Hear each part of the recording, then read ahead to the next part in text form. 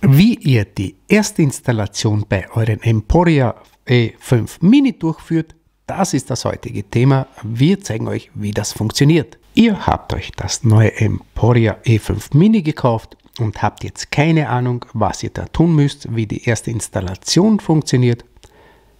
Nicht verzagen, Technikpower fragen. Wir zeigen euch, was ihr beachten müsst und gehen mit euch Schritt für Schritt alles durch. Als erstes nehmen wir mal das Smartphone aus der Verpackung. So, schauen uns mal an, was hier überhaupt alles dabei ist. Es ist eine Bedienungsanleitung dabei, also ein Handbuch ist dabei und das in drei verschiedenen Sprachen, Deutsch, Französisch und Italienisch ist auch dabei. Unser Smartphone selbst natürlich, das darf nicht fehlen. Wir werden euch jetzt nicht dieses Produkt präsentieren, sondern wir machen hier nur die Installation. So, also das Smartphone ist dabei. Hier haben wir dann ein zweites Cover. Jetzt werden sich viele fragen, wofür brauche ich denn ein Cover? Ein zweites, ganz einfach, ihr habt hier eine Notruftaste verbaut. Und jetzt kann es passieren, dass jedes Mal, wenn ihr telefoniert, hier ankommt an dieser Notruftaste. Und dafür dient dieses zweite Cover.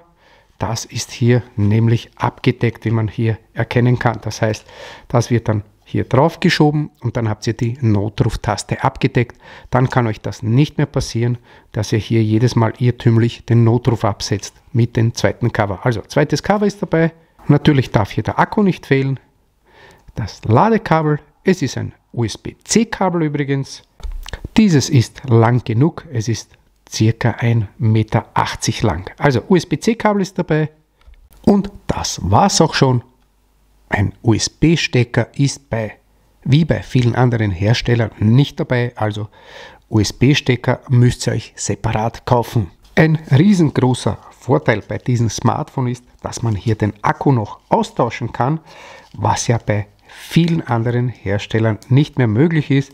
Das heißt, wenn einmal der Akku defekt ist, dann müsst ihr zum Servicepartner und müsst euch hier den Akku einbauen lassen. Hier kann man den Akku noch bequem separat einsetzen, also der Akku kann man jederzeit einsetzen. Es ist übrigens ein 2500 mAh Akku, der euch locker einen Tag hier durchhält. Und um den Akku und die SIM-Karte einzusetzen, gibt es hier im Rahmen eine Kerbe. Also hier zum Beispiel seht ihr das nicht, aber hier gibt es eben die Kerbe und da kann man dann den Deckel hochheben. Keine Angst, der Deckel geht nicht so schnell kaputt, falls viele glauben, dass sie den Deckel dann abbrechen. Keine Angst, der Deckel geht nicht so schnell kaputt, wie ihr denkt. Und so sieht das Ganze aus. Hier kommt der Akku rein, hier kommt natürlich die Speicherkarte rein und hier beschrieben SIM-Karte. Hier kommt die SIM-Karte, wie gesagt, Speicherkarte, Akku. Und das machen wir jetzt. Also Akku mal einsetzen, der hat hier Pins und das können Sie auch gar nicht falsch machen, weil die Pins hier sind. Also so den Akku einsetzen. Akku sitzt fest. Und als nächstes die SIM-Karte einschieben.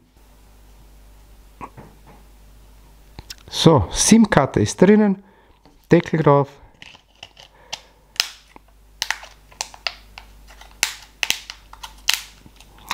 Auf allen Seiten drücken, damit es auch wirklich zu ist.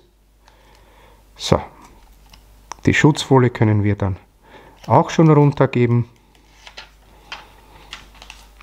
Und wir können unser Smartphone hier einschalten. Das Smartphone wird übrigens hier eingeschalten auf die rote Taste. Die anderen Tasten sind die Lautstärke-Tasten. Also hier ein bisschen länger gedrückt halten, bis das Logo kommt und dauert ein paar Sekunden, bis unser Smartphone hochgefahren ist. So, Smartphone ist schon hochgefahren. Wir bekommen hier das Logo und als erstes die Sprache auswählen. Also hier wähle ich mal Deutsch aus und hier noch einmal die Sprache auswählen. So, dann wählt euch das Land aus und auf Starten. Nun müsst ihr euch mit euren WLAN verbinden. Das heißt, hier wird unser WLAN-Netzwerk verbunden oder gesucht und ihr wählt euch das aus. Übrigens, unser Smartphone unterstützt auch 5 GHz, wie man hier sehen kann. Was ist 5 GHz? 5 GHz, WLAN ist störungsfrei, ist auch schneller, dafür habt ihr nicht so eine große Reichweite. Also 2,4 und 5 GHz. Wie erkennt ihr das? Wenn hier zweimal auftaucht euer Netzwerk, dann wisst ihr, das obere ist das normale, das Zweier ist das 5 GHz. Also ich werde das normale auswählen und nun müsst ihr euer Passwort hier eingeben. Passwort ist eingegeben. Übrigens, falls ihr eine Zahl haben wollt, um das einzugeben, müsst ihr eigentlich nur länger draufbleiben und dann erscheint die Zahl, die darüber ist. Also beim T zum Beispiel, wenn ich hier lang drauf bleiben würde, dann seht ihr, dann erscheint hier eben die Zahl. So, das lösche ich wieder. Habt ihr das Passwort eingegeben, dann müsst ihr nur noch auf Fertig klicken, hier auf das grüne. Und jetzt werdet ihr mit euren WLAN verbunden. Und wir sind schon verbunden und wir können gleich weitermachen. Natürlich habt ihr die Möglichkeit, das Ganze auch offline einzurichten, sprich ohne Netzwerk. Falls ihr Apps herunterladen wollt, also Anwendungen, müsst ihr euch natürlich mit eurem Google-Konto verbunden oder verbinden. Also nach unten scrollen und dann auf Akzeptieren klicken. Als nächstes müssen wir hier einen PIN festlegen. Den müssen wir dann wiederholen und bestätigen. Und unser Smartphone wird hier vorbereitet. So, die erste Einrichtung haben wir gemacht. Das heißt, wir haben hier alles erledigt und können jetzt schon mit dem Telefonieren loslegen. Das ist der erste Teil oder der erste Schritt unseres Tutorials hier für Emporia. Wir werden euch in den nächsten Tagen mit jede Menge Tutorials hier versorgen. Das heißt, hier können wir theoretisch schon telefonieren.